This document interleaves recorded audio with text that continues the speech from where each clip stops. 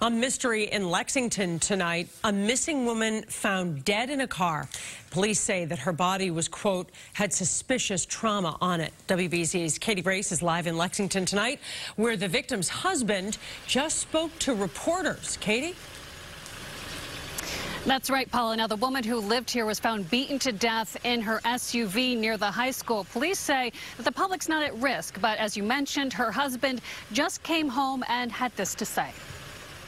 I can't tell. Now I don't even know the, the detail what happened. The husband of Shen Kai drove back home in the same car where she was found murdered. He was wearing hospital clothes and had bruises and cuts on his hands and arms, though he did not say how he was hurt. She, she's great lady. Okay, that, that's it. I, I'm not going to comment any anything at all. Friends of Kai made the discovery on the side of the road near the high school and fields. Shortly after midnight Thursday, they found her body in the driver's seat of her family's Honda. Ms. Tai had previously reported to them, to her friends, that she had concerns about her safety. Police say her husband and friends last saw her Tuesday. When she missed appointments the next day, her friends became worried and started searching.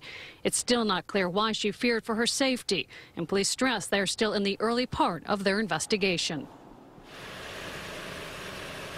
Now, Kai was 49 years old. Police say there are no previous reports of violence at this house, and it was not reported to them of her concerns for her safety. The district attorney would also not elaborate on any potential suspects. Reporting live in Lexington, Katie Brace, WBZ News.